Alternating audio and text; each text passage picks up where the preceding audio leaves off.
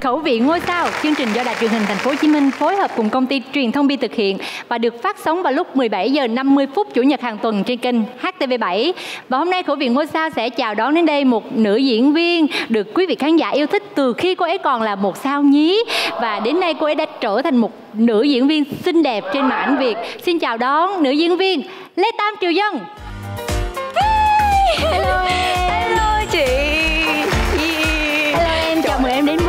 Khẩu vị ngôi sao. Dạ, chào tất cả quý vị khán giả đang xem chương trình Khẩu vị ngôi sao. Mình là Tam Triều Dân và ở trong mà nghe chị giới thiệu là ờ, từ sau nhí xong rồi lên thành nữ viên xinh đẹp. Trời em ngại quá trời ngại. Ngại quá ha, rồi bây giờ mời ờ, em về ờ, phòng khách của chương trình mình tiếp tục bàn nhau về cái ngại đó ha. Ok chị, dạ. Mời em. Rồi, Chào mừng em đến với chương trình Khẩu vị ngôi sao. Một cái câu hỏi mà chị muốn hỏi ngay em bí kíp nào để mà dậy thì thành công được như em. Như người ta hay nói là ăn cái gì đó, uống cái gì để mà dậy thì thành công đó. em là cứ đưa đồ ăn là em ăn thôi Ờ, Ăn cái gì nè? Dĩ nhiên là ăn cơm nhà em nấu rồi, ăn, Ăn- cơm chị em nấu ăn cơm chị em nấu. Dạ, toàn là đồ nhà làm thôi À, vậy là bí kíp vậy thì thành công là phải à, ăn uống à, những cái à, à, đồ ăn thức uống do người thân mình làm bằng Dạ, tất cả tình rồi. yêu thương Bằng đúng tình không? yêu thương, đúng rồi. thì mình sẽ ờ, an toàn hơn nè sạch sẽ hơn đảm bảo Dạ, hơn đúng, đúng. nhưng mà riêng cái công việc của em nè rồi học tập nè thì cũng rất là nhiều thứ phải lo thì em ờ, sắp xếp như thế nào để mà vừa hoàn thành việc học tại vì hiện tại em cũng đang học đúng không Dạ, rồi đúng rồi. tham gia phim trong cái thời điểm này thì thật ra là em cũng ờ, ít tham gia ờ, phim ảnh lại Ừm. và cũng chủ yếu là dành thời gian cho cái việc học của mình tại vì do là quá trình vừa học vừa làm thành ra hơi gián đoạn một tí. Bây giờ đến đây thì mình không phải nấu ăn đâu. Nên mình sẽ được hai fan hâm mộ đến đây để nấu cho mình ăn. Wow. À vậy là cũng giống như em ở nhà. Thay vì chị nấu thì bây giờ sẽ có fan hâm mộ nấu. Nhưng mà trước khi chào đón hai bạn fan hâm mộ ra đây thì à, em order giúp chị hai món ăn mà em muốn được thưởng thức trong ngày hôm nay. Viết ra giấy giúp chị nha và mình giữ bí mật. Ok bây giờ chúng ta sẽ đặt hai món ăn ở đây nha. Wow sang quá xịn quá. Xịn quá. tới đây nói chuyện trò chuyện vui vẻ xong mình ngồi nói chuyện hồi có đồ ăn ra. đúng đúng đơn Trời giản chứ mình chỉ cần ngồi. là mình mang về được luôn. Mang về được em thấy Dạ. chương trình không? Rất yêu thương em bây giờ chỉ cần ngồi khoanh tay đợi đồ ăn lên. Ừ. nhưng mà trước khi đợi đồ ăn bây giờ chào đón hai bạn fan hâm mộ. Xin mời bạn Quốc Phong và bạn Tài Đức. Chào hai bạn. Trời trời. sao chào hai bạn à, bà giới thiệu một chút xíu về mình nha À, xin chào hai chị và chào tất cả các bạn đang xem chương trình Khẩu vị ngôi sao. Mình tên là Lê Quốc Phong và công việc hiện tại của mình là chụp ảnh và tư vấn viên ờ, làm đẹp cho C3 của anh mình. à vừa chụp ảnh vừa làm đẹp khá là đa tài đúng không lại có một ngoại hình rất là đẹp trai. Bạn giới thiệu một chút xíu về mình nha. Chào hai chị và các bạn, thì mình là Tài Đức mà mình đang làm về lĩnh vực là visual merchandising. Và ngoài ra mình làm người mẫu tự do. Là mình dịch ra tiếng việt chút được không? Là cái nét pha trộn với stylist và gần như là trưng bày sản phẩm luôn. À. Dạ, từ chắc là từ chuyên ngành. Chuyên ngành cho Chị nên em hơi, mình, hơi khó hiểu đúng dạ, không? dạ. rồi bây giờ bắt tay vô luôn nè. Để mà giành quyền chọn một trong hai món ăn mà triều dân đã ghi ra ở đây thu xin che giấu đó mình phải vượt qua hai câu trả lời à, kèm một thử thách để lật mở ba từ khóa trên màn hình liên quan tới triều dân mỗi câu trả lời đúng sẽ được lật mở một từ khóa và cứ thế ai mở được nhiều hơn thì sẽ giành quyền chọn một trong hai món ăn mà triều dân đã order ở đây rồi, bây giờ câu hỏi đầu tiên các bạn có 10 giây để trả lời. Mời hai bạn cầm bảng lên và kết thúc 10 giây hai bạn à, xoay bảng ra ngoài nha. Câu hỏi đầu tiên là vải thiều lục ngạn là đặc sản của tỉnh nào? 5 4 3 Đoán đại đi. 2 không bạn có kết quả 1 là gì à, Hết giờ. Mời hai bạn xoay bảng ra. ui chúng ta Đáp án là Tây Ninh. Lạng Sơn. Đáp án là đặc sản của tỉnh Bắc Giang. Ồ Lạng Sơn thì cũng có vẻ hơi gần gần hơn Tây Ninh đúng không? dạ. Vải thiều lục ngạn to hơn và có hương vị đặc trưng khác hẳn với vải thiều ở những vùng đất khác. Khi chín, vải thiều lục ngạn có màu đỏ tươi, hạt nhỏ, cùi dày, ngọt sắc và giàu chất dinh dưỡng. Cùi bên trong quả vải thiều là một nguồn chứa vitamin C, vitamin B và các dưỡng chất như sắt kali, mangan, chất xơ và chất chống oxy hóa giúp bảo vệ khỏi các loại ung thư khác nhau cũng như các bệnh thoái hóa. Câu hỏi đầu tiên không có bạn nào trả lời đúng hết. Bây giờ mình sẽ nhờ Triều Dân mở một từ khóa giúp hai bạn đó nha. ok chị à vì em là tam triều dân mà cho nên em sẽ số ba Tam Triều Dân mở số 3 Ta-da! Wow! Nhạc như cái khẩu vị của em hay là nhạc như con người của em? À, không chị không nha mọi người đừng nhầm lẫn nhạc ở đây xác nó là khẩu vị còn em là không thể nhạc được. Còn em là rất mặn bởi vì nhìn- sao muối tây ninh mọi người. Muối Tây Ninh. Đúng rồi đúng rồi. Là biết mặn cỡ nào rồi đúng không? đúng rồi em thích ăn nhạt là bởi vì em nghe ăn nhạt có ăn bình thường nó sẽ tốt cho sức khỏe healthy Ừ. hơn. Còn mình ăn mặn quá này ăn ngọt quá này ăn chua ăn cay nói chung cái gì mà đậm nhiều quá thì lâu ngày sẽ làm cho mình bị quen dần với cái mùi vị đó đâu À. nên là em nghĩ là ăn ở mức mà nhạt ở đây là một cách rất là nhạt mà trong sự Khoa ờ, học. dạ đúng rồi Đúng khoa không? học Vậy đây là một cái um, gợi ý nho nhỏ cho hai bạn. Lát mình nấu ăn thì mình uh, gia giảm gia vị một chút xíu để cho vừa vừa thôi. Rồi mình bỏ thêm nước mắm hay là nước chấm gì bên cạnh á. Nếu mà cần thêm vào thì sẽ um, phù hợp phù hợp hơn. hơn Nha. Ừ, dạ. Rồi bây giờ đến với câu hỏi số 2 nè. Trái gì nghe tên không bao giờ thiếu? không bao giờ 10 thiếu. giây bắt đầu. ui em biết nè Phải nghĩ nha, nghĩ nghĩ vào nhiều hướng vào. sao mà anh hoang mang quá vậy 3 2 1 Hết giờ 12 bạn đưa bạn. Ừ. tàn. Em nghĩ là chính xác không? em nghĩ là chính xác. Vậy thì là chính xác. Không thiếu là đủ chứ gì nữa. Ủa sao đơn giản quá vậy? Rồi phần chiến thắng đã thuộc về Tài Đức Trong câu hỏi số 2 này Và mời bạn lật mở một từ khóa nha. Em chọn số 2 Từ khóa số 2 xin mời. Nước chị em. Cái nước gì mà lạ lùng vậy em? Hồi nãy em chia sẻ lúc đầu với chị thu rồi đó. Nhà em thì chị hai em rất là chăm sóc cho em. Ừ. thì đó đồ ăn là chị nấu nước là chị làm. Chị hai em chuyên nấu ba cái loại nước. Nha đem nhất hương đem này nhất Diệu. Hoàng một yến và tam triều dưỡng nhan nghĩa là lấy luôn cái tên của ba chị em để đặt Ồ. cho ba loại nước này luôn. Từ cái câu chuyện đó thì cũng được ờ, gọi là lan truyền đó. Và ờ, bắt đầu thì ừ thôi thì nấu cho em uống thì thôi nấu cho mọi người uống luôn đi. À. đó thì câu chuyện từ đó chúng ta có một cái thương hiệu nho nhỏ từ gia đình của em và ừm, kinh doanh nho nhỏ cũng ờ, được vài tháng rồi ạ. Dạ thưa quý vị à, Vừa rồi là một phút quảng cáo nhỏ nhỏ Cho dòng nước chị em đúng không? Dạ đúng rồi. Rồi bây giờ chúng ta đến với một thử thách cuối cùng để Quốc Phong có thể gỡ lại. Và thử thách đó là gì? Mời quý vị khán giả chờ trong giây lát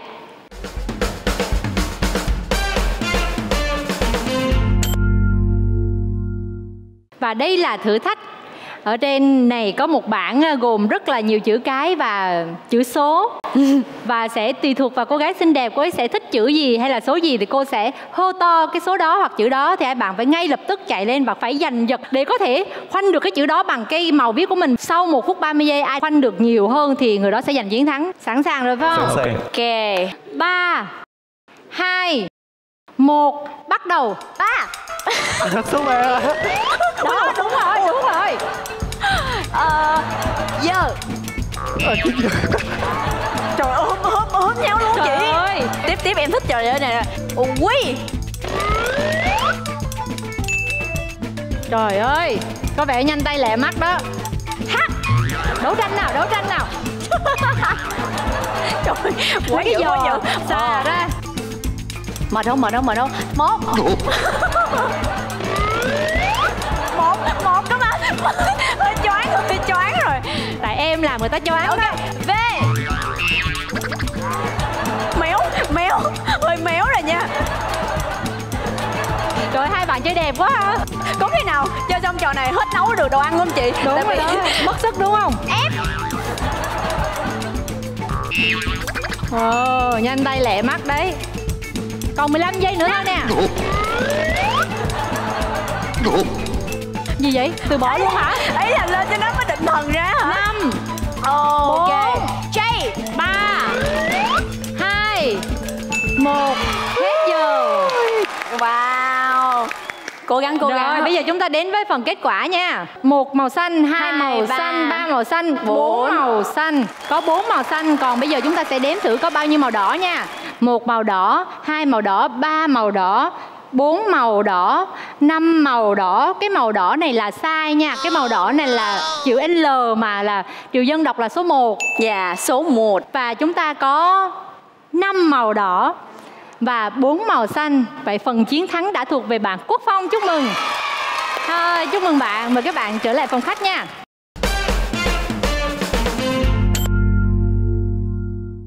Chúc mừng Phong đã giành chiến thắng trong thử thách vô cùng cam go với rất nhiều sức lực. và mang quyền mở từ khóa cuối cùng đó là từ khóa số 1 hết thương vì ăn ai dành ăn em hả? Em hết thương người đó luôn hả? Thì em với chị hai em cũng vậy. Đôi lúc những cái giá, trị rất nhỏ ví dụ như là món ăn chẳng hạn. Tức là chị em tương tàn chị em hả? xào xáo nhẹ với nhau. Bởi vì em có một cái món mà em gọi là nằm trong danh sách loại của em. Cái món ờ, đuông dừa á chị đuông dừa nước mắm bỏ vô chén nước mắm có ớt không? Mà Em ơi, em ơi. nhưng chị gái em thích đam mê. Không phải là thích mà là đam mê luôn chị. Từ đó là bắt đầu hai chị em mà cãi lộn mới vô là bắt đầu kiểu có món đó là thấy là bây giờ gọi không? Gọi là một cả một vấn đề nan giải. Nhiều khi là cãi nhau xong mà không ăn nữa đứng lên đi về. Rồi xong mà quán nhìn mình như Đó. kiểu là nói chung kẻ thù thật sự. Đó là hết thương vì ăn là như vậy. Chính con đuông dừa đã tạo nên Chính từ con- khóa hết thương vì ăn đúng không? Từ khóa số 1 cũng là từ khóa có huy hiệu thần bếp. Chính vì vậy mà phong sẽ có được một quyền ưu tiên đó là ờ, nhờ triều dân giúp đỡ em một cái gì đó. Tạm thời hai bạn hòa nhau tỷ số là một đều. Chúng ta sẽ chơi một cái game trí tuệ. Trí tuệ. Quánh tù căng não đó là quảnh tù trì Chị, bây giờ nhưng mà em có ý kiến mình quảnh tù xì bằng chân được không đếm một hai ba là hai người phải quay lại phía sau. Nhưng mà ví dụ như quay lại để coi luật chơi đó nè cái kéo nè. vậy là thành cái kéo. Rồi. ok. Dặn xuống một cái là thành cái búa. Cái búa còn cái bao. Bao xòe là- cái bao. Bây giờ chúng ta chỉ có một lượt chơi thôi nha. Một lượt ai chơi thắng sẽ được quyền chọn món và ai thua thì sẽ được chọn bếp. Ba hai một.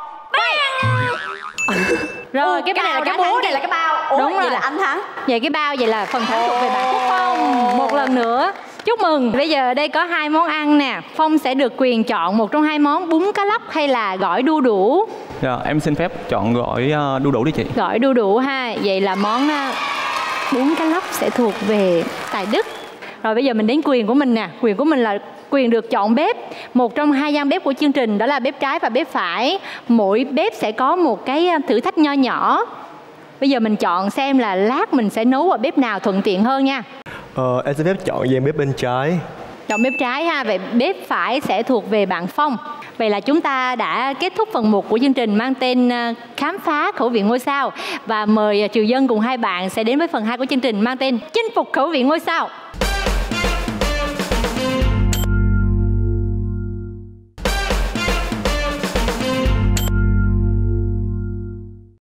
Chào mừng quý vị các bạn quay trở lại với phần 2 của chương trình mang tên Chinh phục khẩu vị ngôi sao và để chinh phục khẩu vị của triều dân thì bây giờ hai chàng trai điển trai cao to đã sẵn sàng trong bếp cùng với những thử thách nho nhỏ ở đây. Bạn Phong sẽ có thử thách là nấu ăn ở trong cái thảm gai này một tấm thảm rất là nhẹ nhàng và chỉ được di chuyển trong này. Rồi mời bước nhẹ xem có êm ái không? trời ơi êm ái ha rồi còn bên này một chàng trai chân dài cao to sẽ không phải đứng ngồi ở trên à, cái bóng yoga này vừa ngồi vừa nấu thôi đơn giản nhẹ nhàng. Ôi, quá trời chương trình của mình đi. Sao mà có thể nghĩ ra được những cái thử thách này? Đó em ngồi ổn không? Ổn chị. Ổn phải không? Trời gương mặt ổn. Ổn. Phải cam chịu rồi. Rồi đến phần của triều dân thì trên một vài nguyên liệu của các bạn sẽ có một vài cái thử thách để nhờ tam triều dân um, vượt qua cái thử thách đó thì các bạn mới được dùng cái nguyên liệu đó. Cho mấy ảnh nấu liền đi chị. Thử thách nhẹ nhàng thôi mời hai bạn nấu liền. Và bây giờ mời triệu dân về à, bên phòng khách chúng ta tiếp tục tâm sự. Mọi người cố lên nha. Men dạ chị thu ơi. À, em cần sử dụng nguyên liệu là tép á. Nhưng mà em muốn lấy được ờ, nguyên liệu tép thì khách mời phải thực hiện thử thách hát bốn bài hát bất kỳ có nhắc tới bốn mùa trong năm xuân hạ thu đông. Trời ơi cái vốn kiến thức về âm nhạc của em nó nhiều chị lắm. sẽ nhắc em. Ok. nhiều lắm hả? Chị tưởng là chị nhiều lắm trong ngoặc kép. À ngoặc kép. Ok. Ba nhưng mà chị phải nhắc em nha tại em không biết à ok chị hát cùng em ha. Dạ ok. Hai ba. Xuân xuân ơi xuân đã nào vui ngày xuân đến xuân xuân ơi xuân đã về. Tiếng nào đang mùa xuân. Là em chi một thử thách luôn đó. Không này là À, em sẽ rất là tốt mùa hè nha. nè. hè sang thu, thu tới. Hè cái này là sang- vừa, mình vừa đọc hay là mình vừa vừa Em đọc? rap. à rap ok hè sang thu tới. Yeah. yo yo. Ờ, và anh Put chưa đến. Yo, yo, yo. khung trời trong lành. Yo, yo. như mây trắng ờ như đó. Ok Ờ, có ờ. chị hè nè mọi người. yo yo. Cảm ơn. là được rồi chị. Có hè đúng không? Dạ. bây giờ tới à, thu nè. Nhiều quá à, mà bây giờ tự nhiên bỗng chốc á cái kiến thức về âm nhạc của mình chưa có được trỗi vậy lắm. À. Bây giờ có một bài này chị nhắc em là nhớ mùa thu hà nội. Hà nội mùa thu. Hà Nội mùa thu. Cây cơm nguội vàng. cây cơm nguội vàng. Cây bàn lá đỏ. Cây bàn lá đỏ. Ừ. da, da, da.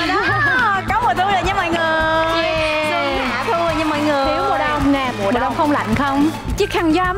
Cũng được cũng liên quan tại Nhưng vì chỉ có, có mùa mùa đông. đông không? chỉ có mùa đông mới quàng chiếc khăn gió ấm thôi chứ không có cái mùa nào mà quàng chiếc khăn hết được chấp nhận. Ở bên kia lạnh quá lạnh quá. Lạnh quá chị cũng lạnh lây Trời về đêm chắc Trời đang đang chợt đêm. lạnh dần. dần. Bà em? Và em? Giờ đang chìm giờ đang chìm Trong giấc mơ êm đềm. êm đềm. Xong, ok. Tạm vượt qua thử thách đầu tiên với bốn bài hát rồi bây giờ có bạn nào cần một nguyên liệu Chị nào khác ơi. nữa không Ờ, bây giờ em cần ờ, cà chua á chị nhưng mà là chị ờ, dân thì cần phải là chân mang đôi cà kheo xay vồi vôi 5 vòng và mang gia vị từ phòng khách đến giúp em. Có khi nào em chơi trong trò này tới sáng mai đồ ăn mới có không chị?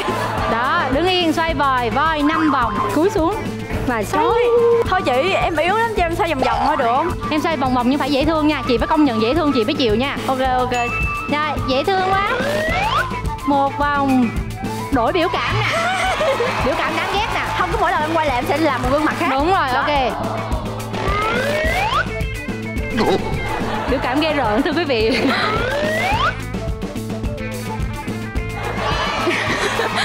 Rồi rồi, tới giờ vòng thứ tư nè. Tức giận nè. Đổi hờn nè đúng không? Biểu cảm nũng cuối nũng cùng. nèo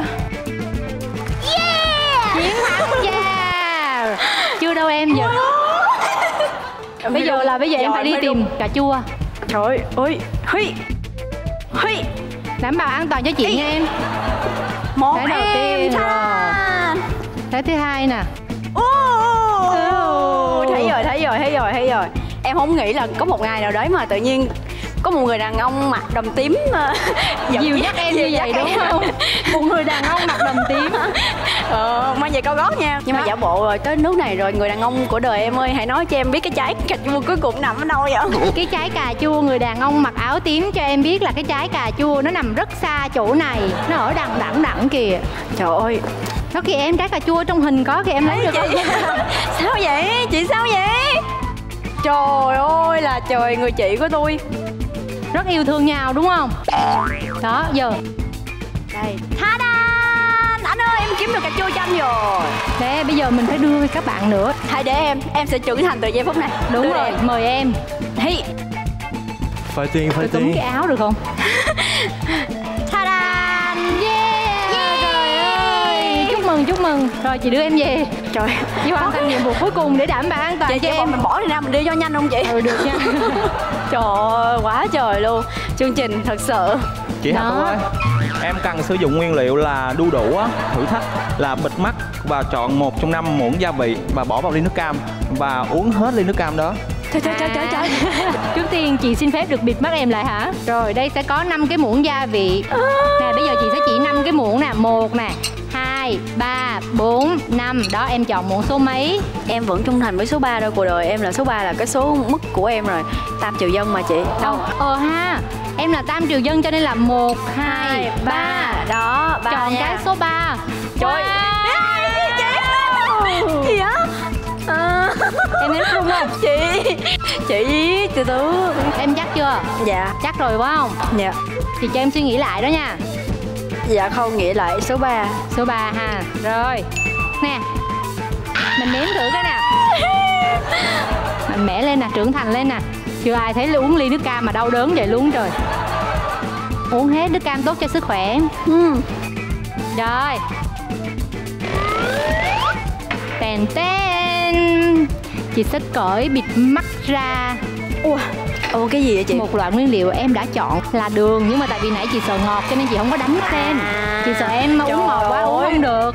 Ô em quá xuất sắc luôn. sắc chị Em không nghĩ chọn. là trong tất cả đúng là tam triều dân đem lại may mắn cho em đúng không? Dạ. Chị Hà Thu ơi, bây giờ em cần dùng mắm để làm nước lèo ấy.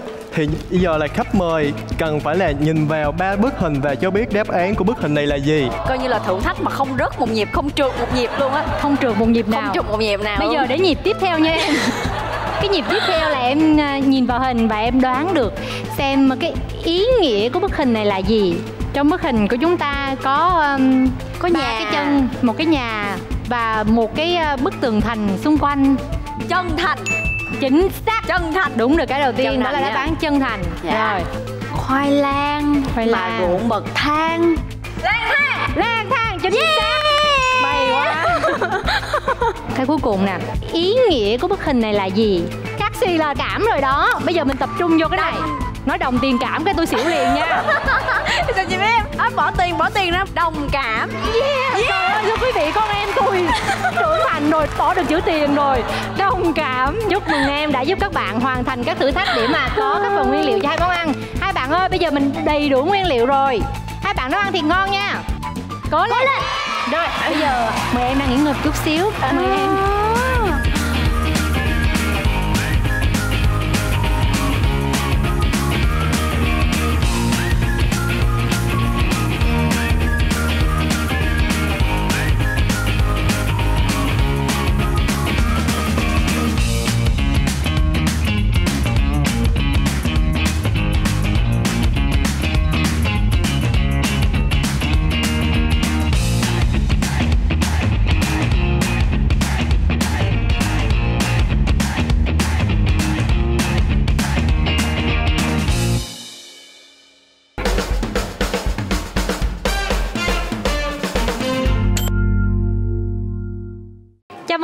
bạn quay trở lại với chương trình Khẩu vị ngôi sao và đây là phần được mong đợi nhất, phần ăn. rồi bây giờ qua bao nhiêu uh, chông gai thử thách thì Đúng rồi. thành quả đã nằm ở đây. Yeah. yeah. còn chơi gì nữa Còn chờ gì nữa chờ em thôi đó. cảm ơn hai anh đã làm hai cái món mà em rất là yêu thích Ừ. thì không còn chờ gì nữa em ờ, xin được phép theo chị thì em nên thử món nào trước ở đây chúng ta có món nước và món khô Chúng ta nên bắt đầu từ cái khô món gỏi đu đủ trước. dạ rồi em xin phép nha Ồ, gỏi đu đủ với tép cũng lạ ha. Cái món này ờ, có phải là món em hay ăn ở nhà không? nếu mà người miền tây á thường thường thì người ta sẽ thấy món này nhiều À. tại vì ở miền tây nhiều sông ngòi và gặp đó thì mình sẽ bắt được những con tép nhỏ nhỏ như thế này rất là nhiều luôn Là vì mình Ờ, làm gỏi đúng không? đúng Em đã thưởng thức ờ, món này nhiều rồi và bây giờ em thấy món này của bạn làm như thế nào?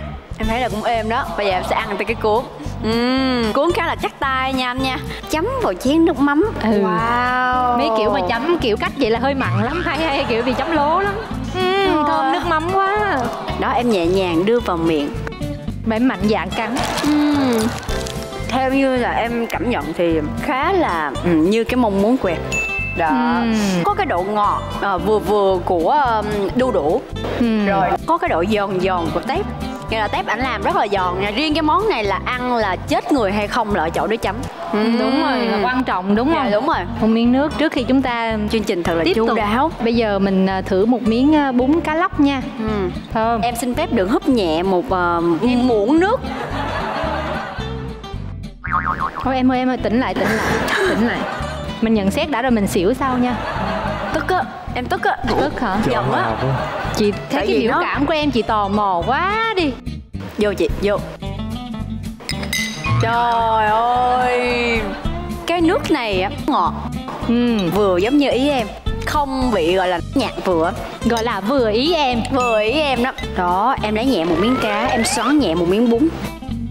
Nó wow Hmm.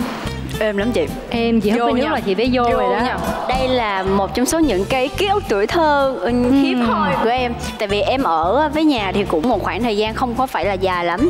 Nên là cái khoảng thời gian được mẹ chăm sóc thì mẹ thường xuyên là làm hai cái món này. Ngày hôm nay được hai anh làm lại cho cái món mà em rất là thích là gỏi đu đủ và bún cá lóc. Thì em thấy công tâm nha. Ừ. Là mình thấy là cái vị cũng êm chung mà mình không biết nấu mà. Thì người ta nấu cho mình ăn rồi mình phải mình phải kiểu phải biết ơn chứ. Mình biết ơn rồi. Và sau cái giai đoạn biết ơn đó mình sẽ phải mạnh mẽ lên chọn ra một món mà mình cảm thấy là ngon hơn chút xíu. Sẽ quyết định người đó là người thắng cuộc nha. để công bằng mà nói á, thì ngày hôm nay em thấy rằng là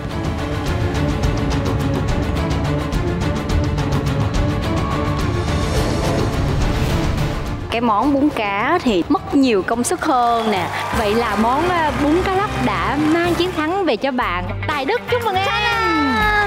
Yeah. cảm ơn anh Mời các bạn à, ra phía trước mình nhận giải của chương trình nha. Vâng,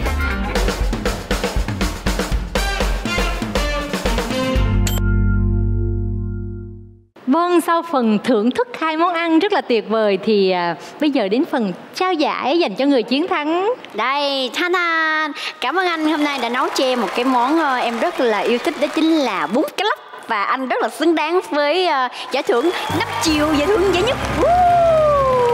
và phần thưởng của bạn bên này Là Cảm ơn anh một cái bắt tay.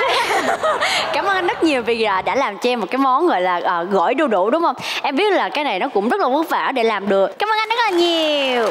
Vâng, cảm ơn um, Đam Triều Dân đã đến với khẩu vị ngôi sao.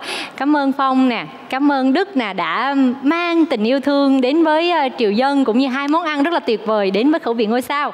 Và chương trình khẩu vị ngôi sao do Đài truyền hình Thành phố Hồ Chí Minh phối hợp cùng công ty truyền thông Bi thực hiện được phát sóng vào lúc 17 giờ 50 phút chủ nhật hàng tuần trên kênh HTV7. Còn bây giờ thì thời lượng phát sóng của chương trình đã hết rồi. Xin chào tạm biệt và hẹn gặp lại.